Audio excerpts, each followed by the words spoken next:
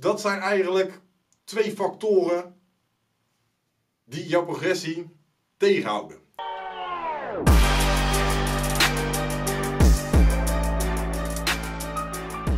Welkom stekkerbroeders bij weer een nieuwe video en vandaag hebben we echt een fantastische vraag. Super cool van waarschijnlijk de uh, oudste kijker op dit YouTube kanaal. Zijn naam is Ballistic Events en hij vraagt een eerste complimentje. Goede duidelijke uitleg zoals altijd. Hartstikke bedankt, dat wordt altijd gewaardeerd. Um, zijn vraag is, ik blijf al een tijdje op hetzelfde bankdrukgewicht hangen. Kan dat ook aan de leeftijd liggen dat het langzamer gaat? Uh, Ballistic Events is 39 jaar. Um, het eerste wat mij te binnen schiet, dat zijn twee dingen. Of je lineaire progressie is voorbij, kom ik zo terug. Of het kan inderdaad aan de leeftijd liggen. Een stukje lineaire progressie. Wat ik bedoel met lineaire progressie is iets wat in één rechte lijn gaat. Dus simpel voorbeeld. Je begint op maandag 50 kilo bankdrukken. Twee dagen later 52,5 kilo. Twee dagen later uh, eh, 55 kilo. Weer twee dagen later, et cetera. En zo door in één rechte lijn.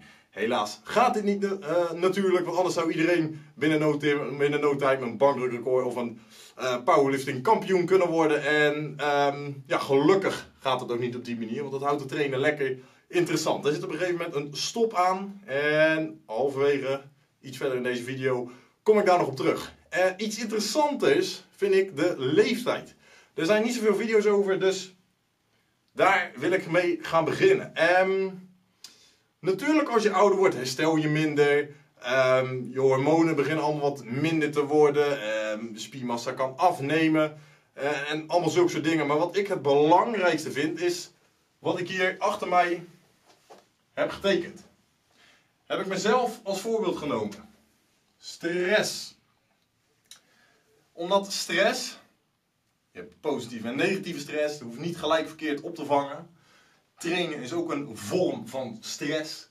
Toen ik 16 was, mijn stressemmertje, hoeveel stress had ik in mijn emmertje toen ik 16 was en nu 10 jaar later, nu ik 26 ben. Wat is mijn leven veranderd en waarom heb ik meneer stress? Noem maar op. Dit is meestal een van de factoren wanneer je ouder wordt. Toen ik 16 was, had, maakte ik mij een klein beetje druk over mijn werk. Om heel eerlijk te zijn, interesseerde mijn werk me eigenlijk helemaal niks. Um, het bracht alleen de stress met zich mee dat ik op tijd moest wezen. En that's it. Ik denk dat in dit lijstje uh, bier kopen wel aanzienlijk, dat ik dat aanzienlijk belangrijker vond. Maar ja goed, ik werkte toch en ik had geld. Dus ik kon lekker een biertje kopen. Maar op mijn zestiende woonde ik lekker thuis. Ik hoefde mijn eigen eten niet te, verzorgen. Ik hoefde mijn was niet te verzorgen. Ik had, man, was ik maar 16. Iedereen die 16 is, goud leven. Nu ik 26 ben, heb ik nog steeds niks aan. Maar ik moet me druk maken over mijn eerste baan. Ik moet me druk maken over mijn tweede baan. Uh, de personal training. Dat brengt uh, redelijk wat stress met zich mee. Ik moet natuurlijk zorgen dat de schema's uh, goed zijn. Dat het huis is opgeruimd als klanten hier komen. Dat mijn motivatie altijd hoog is. Dat ik vragen van hun moet beantwoorden. En noem maar op. Dat brengt stress met zich mee. een derde dingetje in deze lijst is mijn huis. Als het hier regent, te hard. Ik heb een plat dak. Als het hier te hard regent en de goot van de buren is vol, dan overstroomt die en dan krijg ik lekkage binnen. Dat is iets wat ik wel als echt absoluut niet wil hebben natuurlijk. Eh, dingen zoals opruimen, de was doen. Zulke kleine dingen brengen allemaal stress met zich mee. Nou, daarboven heb ik afspraken.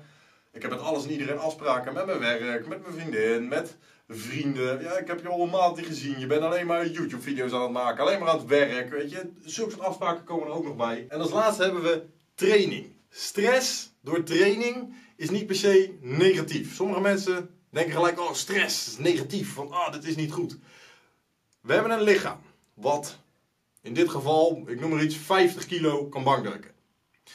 Als jij 100 kilo wilt kunnen bankdrukken, zul je toch enige vorm van stress aan het lichaam toe moeten voegen. Zodat het lichaam zich kan adapteren, zodat het beter kan worden in die oefening en meer kracht kan leveren. En daardoor zichzelf aanpast. En je weer progressie maakt. En dat gaat niet als je dat met 30 kilo gaat doen. Als je 50 kilo kan bankdrukken, zou er een keer 55 op moeten doen. En je lichaam wil dit niet, dus dit is een vorm van stress. En daar is waar het meestal bij de meeste mensen fout gaat. Um, dat is het stukje lineaire progressie. Daar kom ik zo ook nog op terug. Dat is waarschijnlijk wat er bij jou aan de hand is. Als ik, wil hier nog een klein technisch iets toevoegen. Als je een persoon hebt van 60 jaar en je vergelijkt die persoon met iemand van 20 jaar, dan heeft hij of zij 50%, dus dat is de helft, minder groeihormoon op zijn 60ste dan als hij 20 was.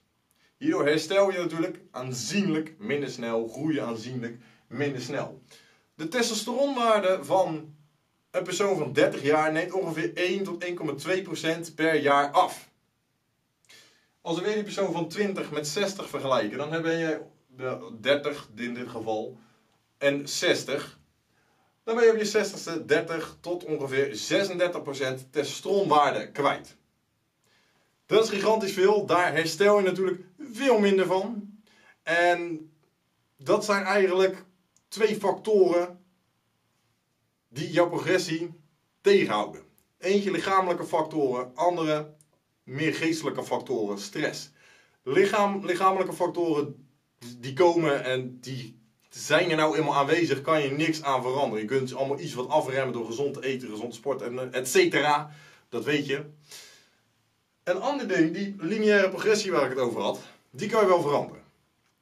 Normaal gesproken iemand die gaat bankdrukken en die denkt, oké, mijn bench loopt vast, hij gaat niet hoger. Wat gaat hij doen? Hij gaat nog meer bankdrukken, hij gaat flies toevoegen, hij gaat pullovers toevoegen, hij gaat tricepwerk doen, et cetera. En alleen maar meer, meer, meer. Wat gaat er gebeuren? Meer stress. Die, die, die emmer, die gaat overlopen. Er komt veel te veel stress op mijn lichaam. Dus het is aanzienlijk beter om een stap terug te nemen. Als je dit nog niet doet, dit kun je in allerlei vormen en varianten variëren. Dat noem je een Texas-stijl programmeren. Dat kun je in heel veel vormen doen.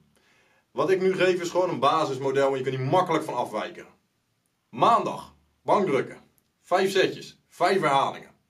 Lekker op je kunnen. Op 80% van je kunnen is dit plus minus zodat je vijf herhalingen kan maken. Lekker zwaar, lekker veel volume. Dus 5 keer 5 is 25 volume.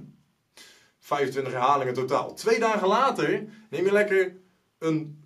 Uh, twee dagen later, op een woensdag, neem je lekker een rustige rustdag. Je doet niet niks.